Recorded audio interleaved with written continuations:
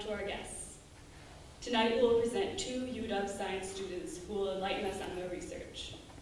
First we have Ian Johnson, grad student in the Department of Aeronautics and Astronautics, who will talk about the pulse plasma thruster, a rocket made for microsatellites. Please offer up a warm welcome for Ian Johnson.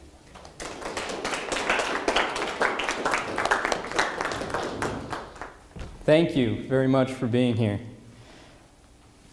I'm a graduate student at the University of Washington, looking to graduate later this year, 2014.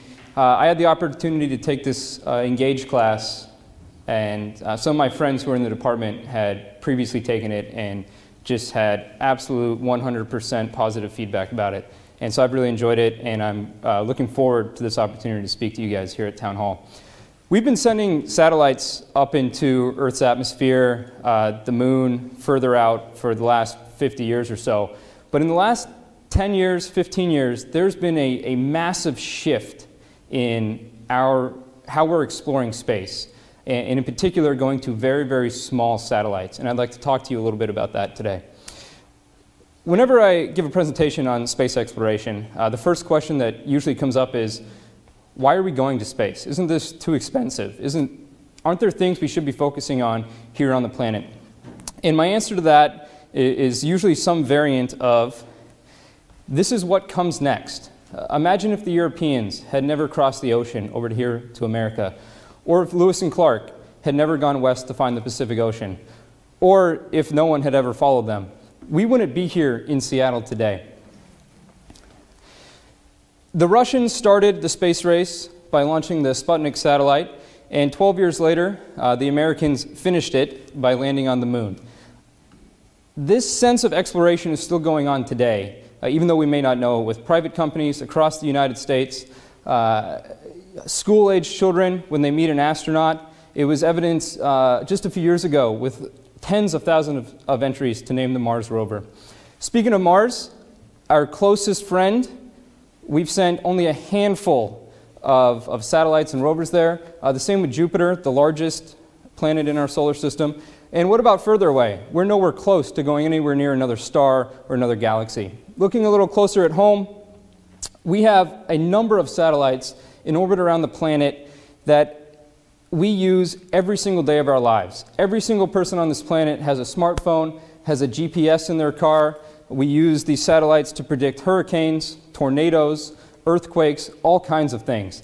Uh, space exploration is all around us every day, and that's why I'm focusing on what I'm focusing on. Traditional satellites, what we have sent up for the majority of our time exploring off the planet, are massive. They are absolutely huge. Uh, this is one of the GPS satellites that Boeing made. It's currently orbiting around 500 to 600 uh, miles above our head right now. GPS is something that I use to get down here tonight on my phone. Uh, I'll use this weekend when I'm traveling up to Bellingham. Uh, it's something that we use every single day. Satellites like this, their, their sheer size, even here on Earth, we know that larger things, heavier things are harder to move, and that's certainly the case when we get up into space. Something this size will take a vast amount of money to put up into space and then to actually upkeep once it's up there. So in the mid 1990s, some professors at the University of Cal, at Stanford, and at CIT came together and said, what if we can go smaller? Something like this isn't feasible for a, a college to put up into space, but what if we can make something smaller, lighter, less expensive, uh, that way, our graduate students, our undergraduate students, would actually be able to explore space on their own in a budget and a timeline that they'll be able to handle. And they came up with what's called the CubeSat. It's a satellite small enough that you can hold in your hand. Currently, humans have launched around 200 of them. Uh, we had, uh, I think, 33 of them launched from the space station just a month ago. Uh, these are a, a, brand new type of satellite, and we have not just college students, but high school students and middle school students, obviously with the guidance of uh, businesses and, and governments, uh, creating these. And, and it's really allowing more people to explore space. It, it's not just those companies with massive amounts of money that we always hear about in the news. Universities across, not just the United States, but across this planet, uh, are using these satellites and sending them up into orbit. One of the problem with these, though, is that it's great that they're so small. Universities can send them up, but it's hard to do much with something that's that particular size. You can't put a lot of fuel inside of it. Uh, it can't transmit very far. The solar panels are, are fairly small, so there's not a whole lot of power it can generate. And that's one of the major advantages that a large satellite has over us. And one of the things that I've been focusing on for the last four years of my graduate school work is how do we move satellites around space? The, the typical fashion for making this happen is you're going to throw out fuel at the back of a spacecraft. That fuel is going to have some mass, that fuel is going to have some speed, and if you guys can remember your high school physics classes, uh, something with mass moving at a certain speed or velocity is going to create a force in the opposite direction and get the spacecraft to move forward. So big fire comes out the back, spacecraft goes forward. When we think about rocket science, we think about the space shuttle. SpaceX has been in the news recently with their Dragon capsules and their Falcon rockets. Uh, the space shuttle in particular, you have that massive orange fuel tank in the middle, the two smaller white fuel tanks on either side. We have a huge flame that comes out the bottom, massive amounts of smoke. The space shuttle goes through enough fuel to fill up a swimming pool every 30 seconds. Obviously, you're not going to be able to fit that much fuel on a small satellite. Uh, SpaceX, Blue Origin down in Kent, uh, Aerojet over in Redmond, all these companies more or less use the same principle. Massive amounts of fuel coming out at a certain speed, the spacecraft's going to move forward. What my lab's looking at is what if we can turn that around? We know that we need some mass of fuel and some speed of fuel to move the spacecraft. So instead of using a lot of fuel, what about increasing the speed? And the reason for using less fuel and increasing the speed is that, as I said before, CubeSats are tiny. You just can't fit that much fuel inside of one. Back in the 60s, the Russians were the, the first uh, country to launch what's called the pulse plasma thruster. And this particular thruster is incredibly tiny. I think we compared it to a quarter up here in this image. It's been around since the 60s. It's been more or less the same ever since then. Uh, the general operation of this particular rocket or this particular thruster is not overly complicated and something that most people are, are able to grasp. We're going to take electricity and we're going to run it between these two pieces of metal. Electricity, there's nothing overly fancy about it. We use 60 watt light bulbs at home, or if you go to the store and want to save a little bit money, there's some of the new 10 watt and 15 watt light bulbs. Instead of 60 watts, we're going to run hundreds of thousands of watts for a very short time between these two pieces, uh, between these two pieces of metal. It's going to heat up the solid fuel that's inside of it. And as we all know, when we heat up something solid, it becomes a liquid. When we heat up a liquid, it becomes a gas. What happens when we heat up a gas, though? It becomes this fourth state of matter that not many people talk about. It's simply called a plasma. And all it does is you take the electrons and the ions that are inside of an atom and you strip them apart from each other. What's exciting about the plasma is that it can move very, very quickly, much faster than gas can. So we're going to create this plasma cloud from our solid fuel. We're going to accelerate or push that fuel out the back of the spacecraft, and then obviously the fourth step is that the spacecraft goes the other direction. At the U, the, University of Washington, we have a number of small vacuum chambers, and this is one of them. Uh, this is where we test our particular pulse plasma thruster. And uh, we can see the thruster over here on the left side of the screen. When we fire this, we have a nice uh, plume of plasma particles that are uh, thrown out of this thruster, and we're able to use very high-speed cameras to be able to take these pictures. Typical pulse plasma thrusters, ever since the 1960s or so, have used various elements or various types of plastic as their fuel. Teflon has been the primary fuel. It's something a lot of people use to cook with at home. It's that non-stick substance you might use to make potatoes or uh, carrots, vegetables of some kind. Not me, because I'm in college and I don't eat vegetables, but other people who use vegetables. Uh, also epoxy, which is just a fancy type of glue, but they're all various types of plastics. And this is what's been used for pulse plasma thrusters for ages. My professor, who hopefully is watching this live streaming at the moment, is a crazy old Australian guy. And he came into the lab one day and said, maybe we don't have to use plastic. Maybe we don't have to use Teflon. Our lab, being part of the Earth and Space Science Department, we have rocks and minerals and all kinds of things just laying around. So we started trying out a few of them. Uh, a few of the minerals that are commonly found on Earth uh, and asteroids uh, chalcopyrite, bismuth sulfide, olivine. Chalcopyrite in particular, I, would never heard about it before. It's what fool's gold is. And so my professor brought in this rock that it was a chunk of gold. He handed it to me, and I said, No, no, no, I'm a graduate student. I can't afford that. Uh, but it turns out it's incredibly cheap. Uh, we also have various types of metals lead, bismuth, gallium. Gallium is a really exciting metal in that its melting point, or where it becomes a solid to a liquid, is very, very low. It's 85 degrees Fahrenheit, so you're able to melt it in your hand. There's a lot of YouTube videos. Uh, someone uh, serves their guest tea, and they hand them a spoon made out of gallium. So they mix in the sugar and whatnot into the tea, and then they pull out the spoon, and the bottom half of the spoon isn't there anymore. Uh, so a lot of really exciting metals that are fairly common on Earth. Uh, so we tested a few of these we didn't see a drastic improvement. And then my advisor, as he's crazy and old, said, well, let's try something else. So I've labeled this, this group other. Uh, we have some volcanic ash that some of our professors in the department study, and then we had a big chunk of sulfur. And it turns out, and I want to draw your attention to sulfur, bismuth sulfide, and chalcopyrite. All three of these have some element of sulfur inside of them. So we put these in our vacuum chamber and we put them on our thrust stand and we were able to measure the thrust. And thrust is how much the spacecraft is going to move for what you put into it. So it's the same as the different types of fuels that we have in our cars. If you put in unleaded, uh, premium, supreme, plus, diesel, whatever you want to call it, depending on what type of fuel you put in, will depend on how far the spacecraft moves. So for us, because we're very limited in our space, we want to put in whatever fuel we can to get the most thrust or the most spacecraft movement out of the thruster.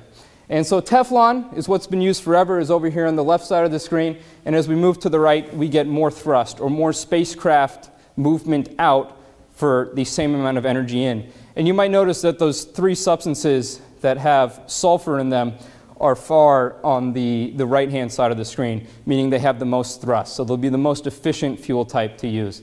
And as far as we can find, no one's used a sulfur pulse plasma thruster before. No one's even considered a sulfur pulse plasma thruster before. And we can get twice as much thrust out uh, compared to Teflon for the same amount of energy or power in, into the device. So imagine if we're driving our car. I'm driving, say, from Seattle to, I don't know, Los Angeles and I need to re refuel my car when I hit the bottom, or I don't know, let's say Portland or so. Imagine if instead of just driving from Seattle to Portland and then having to regas up the car, I can drive from Seattle to the northern part of California. That would save me a drastic amount of money. And that's what going to these different fuel types enable us to do. So this is great. We have this sulfur pulse plasma thruster. I can get my PhD now and move on. Life is exciting. But we really want to put this up into space. And this is where the hard part comes into. These are large satellites, they're fairly expensive. Scientists, engineers, NASA, private companies, they're not going to let you fly something until you can prove that it'll actually work up in space. The problem with that being that you can't prove that something's going to work in space until you actually put it up there in space. So it's a bit of a chicken and egg paradox. Our department, uh, a couple of our professors, Michael McCarthy and Bob Holzworth, have a tremendous amount of experience launching things on balloons into the high atmosphere. So we said, all right, if we can't get into space, let's do the next best thing and get close to space. Uh, so I believe I have to click this video. Technology is very confusing. Last year, we went out to Moses Lake, Washington, the Grant County Airport. Exciting place, Moses Lake, Washington, if you've never been there, a lot going on. And we took our, pulse, our sulfur pulse plasma thruster and we put it up on this balloon. And we said, all right, we're going to show these people that we can actually launch this thing up at the tops of our atmosphere, and maybe that'll prove to them that we can put it up into space. I don't know if we have sound on this video, um, but if you did, you'll be able to hear the, the uh, sulfur PPT firing. We get up, this is about 20 miles or 30 kilometers up above Earth, uh, so fairly high, nowhere actual close to space. Space is more like 200 miles up. Uh, we had two cameras. This is our view facing down. This is my favorite part of the video when the balloon actually pops. A nice smooth flight up, and then everything goes to hell on the way back down. It tumbles like this for about a half hour until we go to our last camera, where clearly we should have put a slightly larger parachute on the device. Landed in the middle of a, I don't know, a wheat field or something, whatever they have out in Moses Lake, Washington. I'm going to insult some people from Moses Lake, but that's all right. Uh, so we flew this, we showed this video, we wrote up some reports to NASA, and we actually able to got, we were actually able to get money back uh, to fund this project, uh, which is incredibly exciting. And we, are writing more grants as we speak, and we're actually planning another atmospheric balloon flight uh, over in Moses Lake at the end of May. Uh, we have a number of undergraduate students and a couple graduate students as well working on this.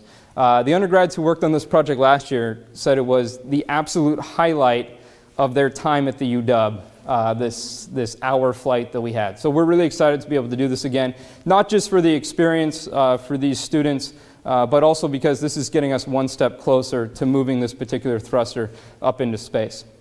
So we have this thruster, life is good, NASA is throwing us a little bit of money we actually need to build the satellite that it's going to go on as well. January 1st of this year is when we started this CubeSat program uh, here at the UW. And so in addition to the thruster, which you can see I'm holding in my hand up there, this, this thing is tiny, uh, we're building out the various computers, the electronics, the hardware for it, and just yesterday we got the, the structure or the, the outer skeleton of this satellite uh, built and designed. Uh, another student by the name of Michael Pfaff was the one who built it, and I decided to take a picture of it uh, just to show just how small it is in front of our vacuum chamber. Uh, so we're really excited for this. Testing's moving along, and we think we're going to be able to finish this and actually launch the device before the end of the decade, uh, 2020, which means that the University of Washington will be able to go into space, or Ian Johnson will be able to go into space, uh, say before the light rail gets to Northgate or the light rail gets over to the east side of the lake. Um, so we're incredibly excited about how far this project's moving forward.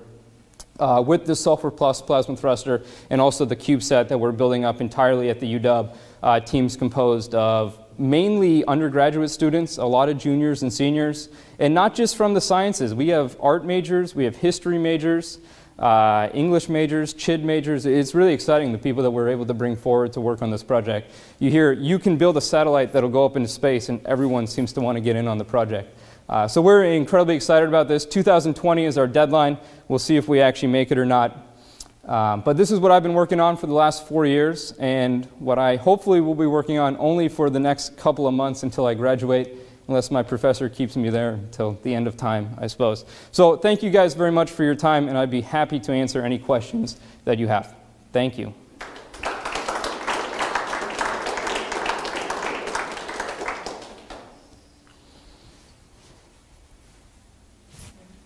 Oh, do you have to go up to a microphone?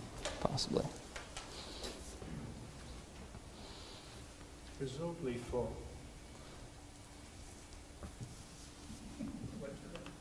technology. It should just work for you. There we go. Presumably for every fuel, there will be a, a satellite size that's ideal for it because there's a certain amount of even large and small, there's no natural reason. Bigger satellite, the more fuel you need, et cetera, et cetera, et cetera. So if you have uh, identified some new fuels, uh, is there an ideal size that you would take? So that's an interesting question, and I would actually turn that question around. It's not an ideal size, but an ideal length of mission. So let's say your satellite only needs to be up in space for half a year or a year. Then you only want a fuel that's going to last for half a year or a year. For some of these larger satellites that need to be up there for 20 years or 50 years, they need fuel that can last for 20 years or 50 years. Uh, for us, for these smaller uh, CubeSat satellites, uh, most of them uh, only live for a month, maybe two months. And by going to uh, a sulfur fuel, you're able to extend the lifetime of that satellite out. So if we can get twice as much movement out of the satellite, that should mean that we're able to have those satellites survive for twice as long.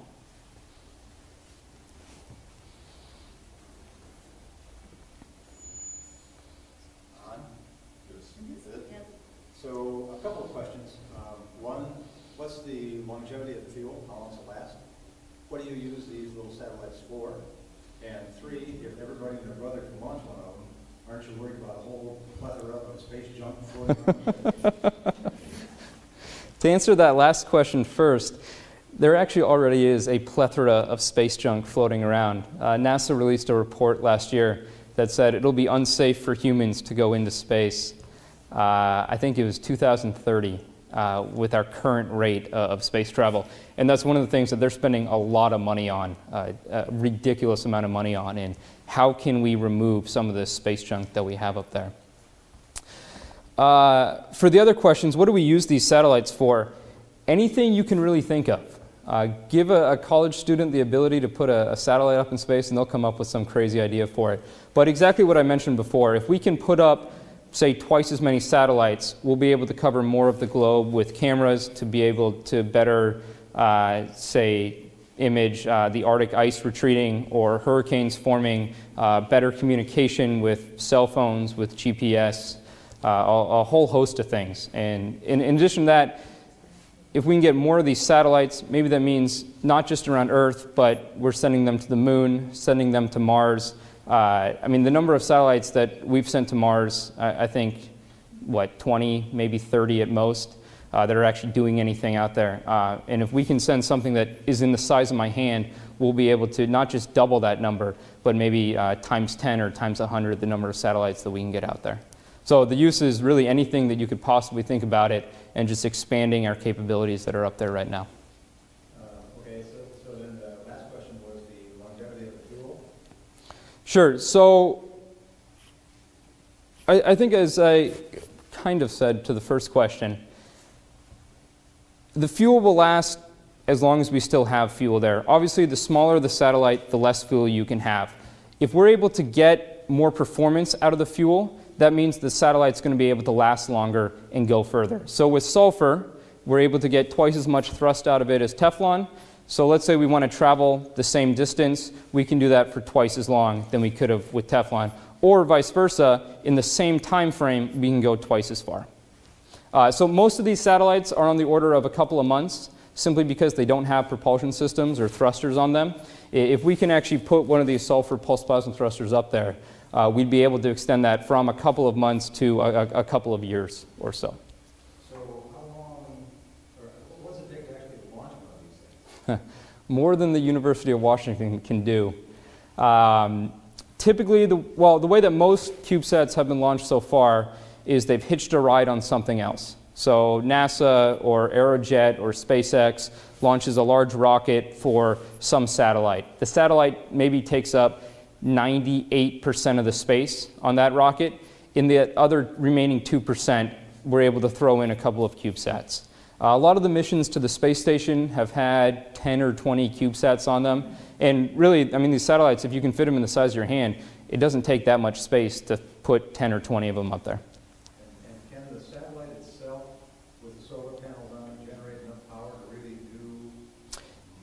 Surprisingly, they can. Uh, with the advent of really the technology that video games and the computer scientists that work for these video companies uh, shrinking these parts bound, you can think of Xbox One or PlayStation 4, how much smaller they are and how much more they're able to do. It's really these video game companies that are driving this technology to be smaller and more efficient and to use less power. Uh, and so with the advances that they've made, especially over the last five, ten years, these satellites are able to do more and more. Um, last I heard, there's a fleet of CubeSats that are actively able to transmit um, uh, satellite phones from one side of the planet to another. So they're really able to do most of what the larger satellites are able to do right now. Uh, but because you can have more of them, they'll be able to better cover the planet with their coverage of either phone reception, uh, photography, um, whatever you want, weather prediction from it. Just a short one. Um, so you, you've uh, talked about your, your thruster, but um, you know you, you, have to point it in some direction. So tell us about that part of, of your plan. How do you know how you're going to point it? So most satellites use Well, there's a couple of different techniques on how we're actually able to point these satellites. We want to get them going in some direction. It, it doesn't really matter. If, you have the biggest thrust in the world, but you're not pointed at the moon, you're not going to get to the moon. And so, for something like this, because it's small, so small, we're able to put multiple of these uh, thrusters, these pulse plasma thrusters, on, on the satellite. So, you can imagine we have one pointed off to the left, one pointed off to the right, and then one straight back. Uh, so, we're able to fire all three of these to be able to uh, determine which direction that satellite's going to go. I think that's it for me. We can move on to our second speaker. Thank you very much.